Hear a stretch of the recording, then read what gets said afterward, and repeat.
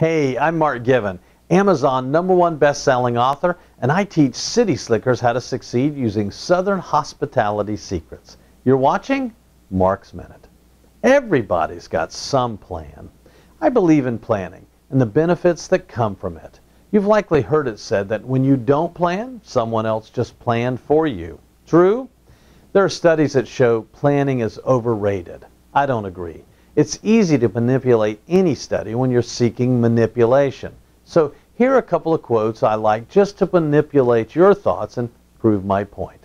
Mike Tyson said, Everybody's got a plan until they get punched in the face.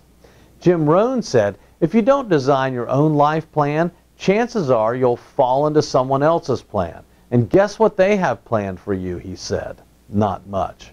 Zig Ziglar said, you were born to win. But to be a winner, you must plan to win, prepare to win, and expect to win.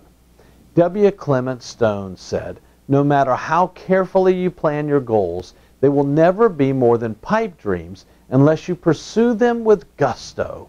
So, thanks for watching. You can also read years of Mark's Minutes on my blog at markgiven.com. Have a great day.